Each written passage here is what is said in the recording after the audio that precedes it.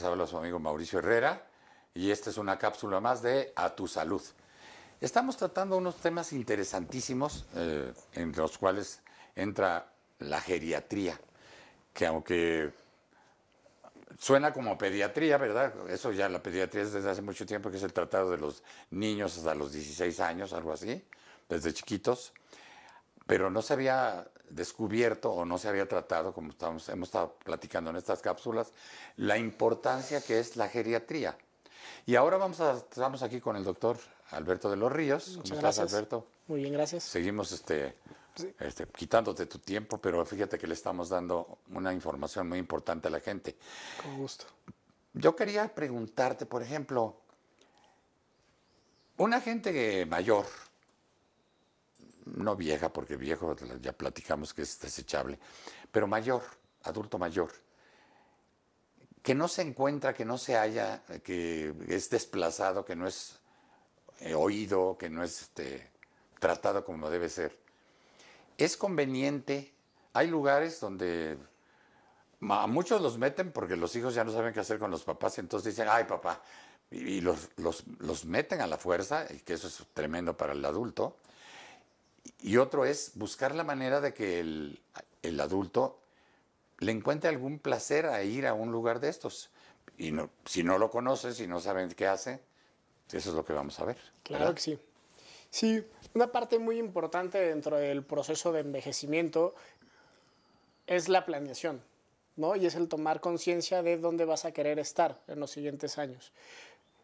México vivió una transición en este escenario, el cual ha dado pie a que hoy tenemos un boom y una burbuja y está explotando cambios muy importantes en esta parte del modelo de cuidados a largo plazo o dónde van a vivir los adultos mayores. Primero es, antes no teníamos tantos adultos mayores y antes lo que se sabía es que éramos culturalmente y familiarmente éramos diferentes. Venimos de ser familias muy, muy, muy grandes, familias muy muéganos, las familias mexicanas en las cuales era la casa de los papás, papá, mamá con 8 o 10 hijos, abuelos, y que todos se quedaban en esa pequeña comunidad y que el cuidado del adulto mayor se quedaba dentro de la familia, porque pues dentro de 10 hijos, con 10 esposas, con 40 nietos, pues que alguien cuidara al adulto mayor, al abuelo, era un poco más fácil o natural. Empezamos a migrar, que México empieza a disminuir en el número de hijos que tienes. ¿no? Y hoy las familias se vuelven de dos, tres hijos, o de nada. un hijo o de nada y entonces esa carga del cuidado del adulto mayor pues empieza a no ser tan fácil de, poder lograr. Hubo una transición que esta situación de asistencia o de vulnerabilidad al adulto mayor se insertó un modelo que eran los asilos, ¿no? que era esta situación de vulnerabilidad en la cual la beneficencia buscaba dar contención a este escenario como desprotegido o desfavorable. ¿no? Es decir, te mandaban al asilo pues, cuando ya no se podía. Hoy enfrentamos otra realidad. Hoy enfrentamos la realidad de que uno puede tomar la decisión de decir dónde quiero pasar el tiempo. Y es ahí donde entonces uno puede tomar decisiones acerca de buscar comunidades o espacios en los cuales sean amigables e incluyentes para mí como adulto mayor. Entonces cambiamos de un principio en el cual me mandaron a un principio de autonomía de decir, quiero estar, me voy. Quiero ir. No, y lo entendemos porque también culturalmente quizá hemos ido cambiando. Antes las personas de 90, 100 años, o sea, creían que iban a vivir siempre dentro del núcleo familiar y que la familia tenía que darles contención. Hoy muchas personas entre 60 y 80 años saben que sus hijos no se van a hacer responsables ni tienen por qué hacerse responsables de ellos. Entonces, ellos sí están ya preocupados en poder prever cuál va a ser el modelo en el cual ellos pudieran envejecer. ¿Y qué es lo que da? Que entonces los asilos ya no nos quedan. Esta idea de la institución grande, oscura, de muchos cuartos, pues se vuelve una institución arcaica, ¿no? Una institución que da cobijo a cierta población vulnerable, pero que no satisface la necesidad de una población empoderada, que es el adulto mayor. Y es donde entran todas estas nuevas prácticas de vivienda, y es donde hoy tenemos todo lo que son residencias, modelos de vivienda compartida, co-housing, co-living, que son sí, edificios completamente dedicados a eso que tienen todo. Exacto. Y tienen médicos, y tienen enfermeras, y tienen este hasta para operar en un momento dado. Exacto. Estados Unidos, Europa, Canadá tienen áreas específicas de desarrollo eh, comunitario. Es decir, una colonia entera se vuelve una colonia accesible o diseñada para adultos mayores.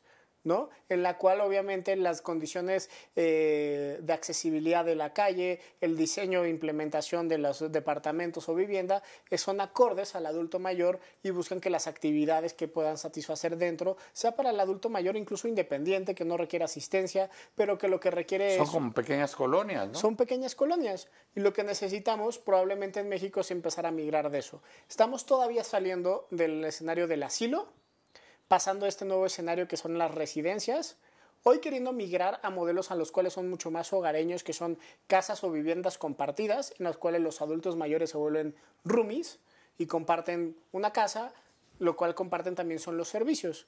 Lo que buscan es eso, uno, evitar la soledad, dos, favorecer la interacción social y tres, vivir. Vivir y economía colectiva, compartir gastos, para que el día de mañana, a los 80 años, quizá ya te cansaste de barrer y trapear y de tender la cama y de hacer el desayuno.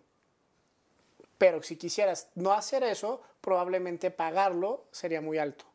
Lo que buscas es poder generar modelos Oye, y este, ¿qué, por ejemplo, ¿qué hace una persona, por ejemplo, tú, tú tienes una, una, una casa de retiro, una residencia? Sí, yo me dedico a toda la parte que son modelos de cuidados a largo plazo, tanto modelos domiciliarios, o sea, implementación de modelos de cuidado o desarrollo en casa, como vivienda compartida. Lo que buscamos y lo que apostamos nosotros es utilizar casas existentes, en la Ciudad de México, estas casas que ya están quedando muy grandes, que eran de jardines grandes, con 8 o 10 cuartos, porque antes eran sí, así las familias. con arcadas. Como la colonia Roma, ¿no? Como la colonia Roma, como, pues, San Ángel, San Ángel eh, Reforma, Lomas. Estas casas que están pasando de ser una casa grande, ahora a ser un multifamiliar de 100 pisos que nos está dando un caos. La intención es rescatarlas y reubicarlas y favorecerlas. Sabemos que ya no hay familias que tengan 8 o 10 hijos que las vayan a ocupar. Sí, pero ya no, y ni están en un lugar que pueda hacer este, un negocio. Exacto. Entonces lo que buscamos Tendría que ser oficina, ¿verdad? Lo que buscamos es que los adultos mayores puedan compartir estas casas y puedan compartir los servicios y entre todos pues van a compartir a la persona que les cocina, van a compartir la persona que limpia, van a compartir el fisioterapeuta, la enfermera, van a compartir el maestro de canto, van a compartir el maestro de manualidades, entonces generas una pequeña comunidad dentro de una casa, que sigue viviendo en la casa, que mantiene estas casas coloniales tradicionales o estos espacios existentes en México y que lo que buscas es que sean pequeñas comunidades. ¿Y cuánta gente puede estar? Como 20. Idealmente el tamaño que dan muchas veces las casas, o sea, los cuartos.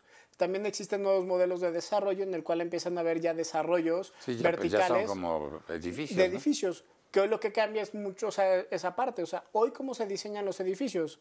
Oye, y es este, económicamente, ¿hasta qué nivel puede manejarse eso para la gente?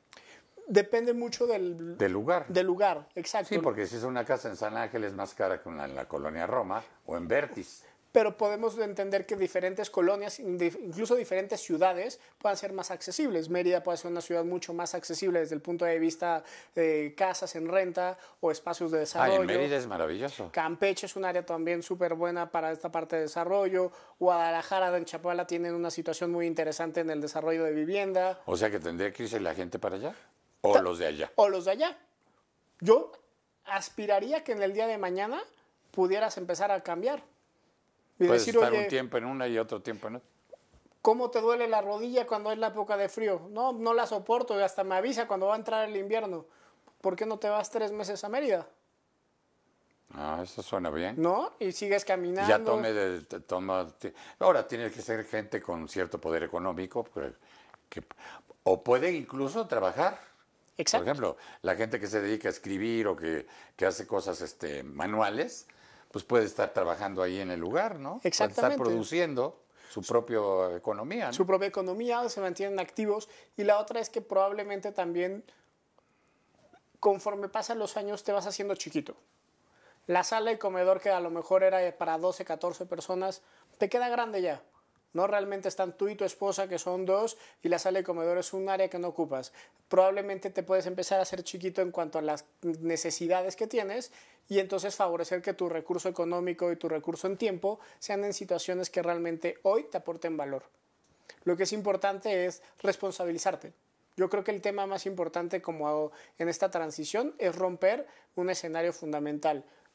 Al día de hoy, el 80-90% del pago que pasan en residencias, en asilos, en casas, es gasto de bolsillo de los hijos. Es una situación preocupante porque es un dinero en el cual... Sí, porque es una carga. Es una carga en el cual el hijo está dejando de prever para su retiro, fondeando el retiro de su papá, y lo único que estamos haciendo es que el día de mañana quizá el hijo no tenga la capacidad de prever. el hijo a, tener para, para, para su vejez. Exacto. Entonces, hoy sí la primera invitación es que revisemos nuestros proyectos de retiro, ¿no? Entender Eso lo podemos ver en la próxima cápsula. Claro, sí. Ahorita vimos todo lo que es, qué interesante es todo esto que platicamos de, lugares de retiro. Interesante incluso de, intercambio, me voy ahora que hace frío aquí, me voy a aquel lugar y el otro que se venga al frío porque está más acostumbrado al frío. Entonces, eso lo vemos. Pero vamos a ver ahora otro tema interesante, ¿no? Pues lo vamos a ver en la siguiente cápsula. Este ha sido, muchísimas gracias, Beto. Gracias. Ya, ya le digo Beto al rato. ¿Qué hubo, Be? Ah,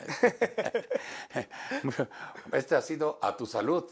Estamos hablando con el doctor geriatra. ¿Es doctor geriatra o geriatra solo? Geriatra solo. Geriatra solo.